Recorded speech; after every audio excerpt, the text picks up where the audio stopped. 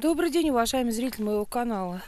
Сегодня 6 января. Я поздравляю всех с прошедшим Новым годом. Желаю всем здоровья, успехов, добра. Храни вас Господь. Так, и вопрос один и тот же появляется периодически. Чем я сейчас кормлю и пою свою птицу?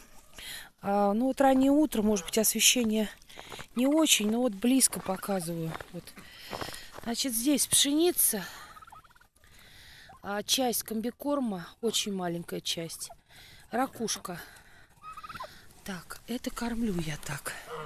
Пою, вот у них стоят такие тазики. Ну, сейчас уже гуси немножечко испачкали.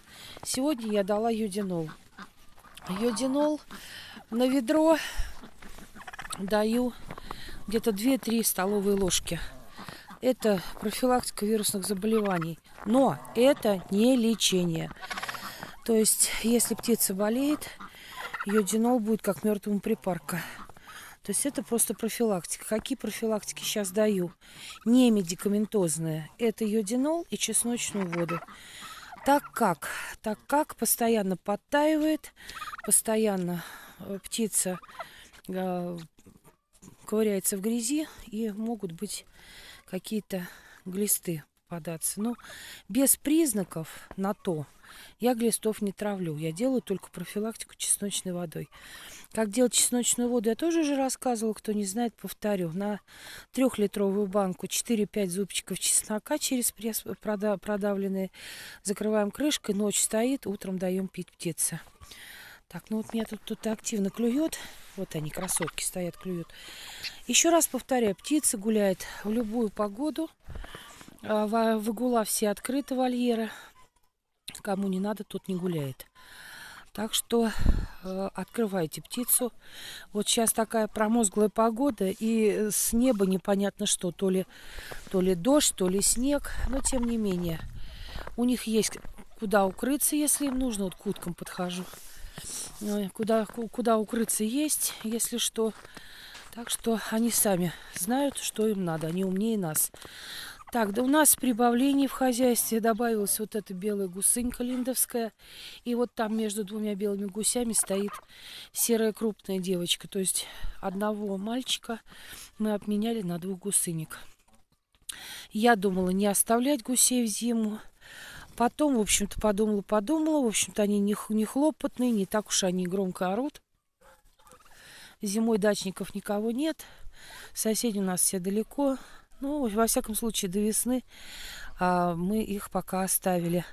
Возьмем с них яйцо, а дальше уже или будем убирать. То есть летом они, конечно, не будут. Это чисто вот а, на весеннюю яйцекладку я их оставила. Так, что еще? Ну вот, Кеша мой, основной производитель, вот стоит. Ну, не знаю, видно, наверное, нет. Прям смотрю на экран, все темно. Шоколадный селезень, это от моего Веня, от француза. Вот он в перспективе будет работать.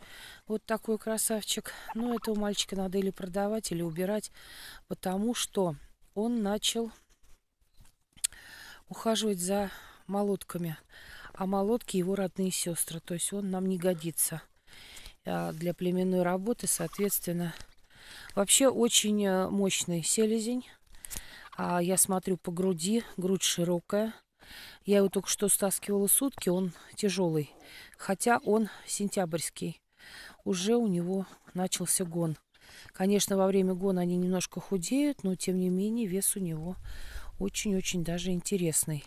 Хороший мальчик.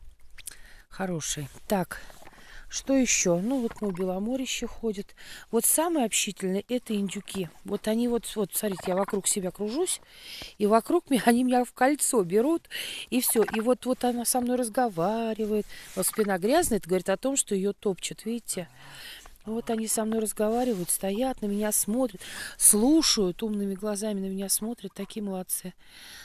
Так, ну, в общем-то, кормлю зерно, еще раз повторю, на ведро. Вот давайте так, на ведро.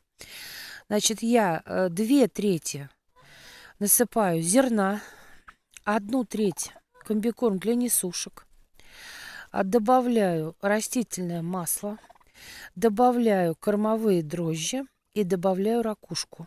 Растительное масло добавляю для связки, чтобы вот эти все мои сыпучие порошочки, то есть ракушка и кормовые дрожжи, чтобы они к зерну прилипли, чтобы это не было отдельно в кормушке, э, осыпалось все вниз и все это под снегом пропало. Так, пока так. А дальше, дальше рацион будет меняться, потому что будем готовить птицу а, к новому сезону яйцекладки. Там пойдет овес. Ну, в общем, я по мере, по мере продвижения я, я скажу, что будет дальше. Овес обязательно водоплавающим, так что если у кого-то есть, можно заранее прикупить овес. Он будет нужен. Так, ну все, еще раз всех с праздником. Сегодня Рождество в ночь. Всех поздравляю с Рождеством. Мои все пойдут на службу. Я не знаю, пойду, не пойду. Ну, наверное, тоже пойду. Так, всех с праздником, всех благ. Храни вас Господь. Всего доброго. До новых встреч.